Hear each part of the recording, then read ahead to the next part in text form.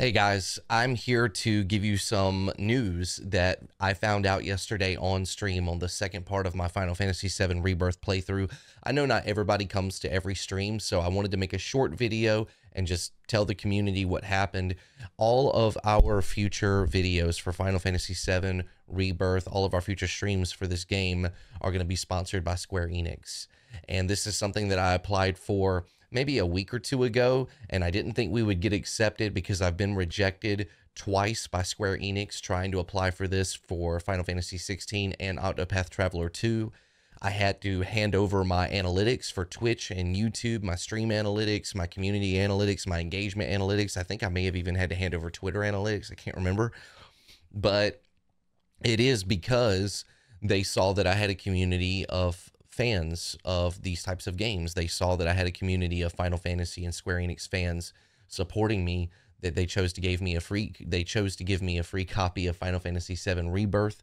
I'll be using that copy that they gave me to stream the game starting Monday and all of those streams starting Monday will have like the sponsor hashtag or the ad hashtag but they're not giving me any money just so you know. They're not giving me a certain amount of money to stream the game certain amount of money per hour anything like that. It's not that kind of sponsorship.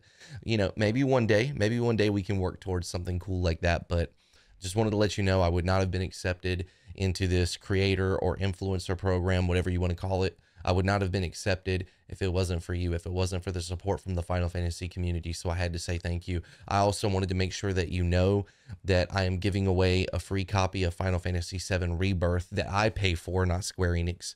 I'm giving it away one to my Twitch chat and one to my YouTube chat when we hit 300 members on YouTube and when we hit 500 subscribers on Twitch. And we hit 500 subscribers right after I found out that Square Enix was going to sponsor our streams on Friday. I just found out we just hit that that little you know landmark or whatever. We hit 500 subs. So uh, on Monday, I'm going to do an open raffle. It's not closed off. I, it's against TOS for me to close it off. It's an open raffle to my Twitch chat on Monday. I'm going to give away the copy then, and then of course I'm going to do the same for YouTube when we hit uh, that that that goal on YouTube as well. So I just wanted to say thank you. I wanted to let you know I would not have been able to do it on my own.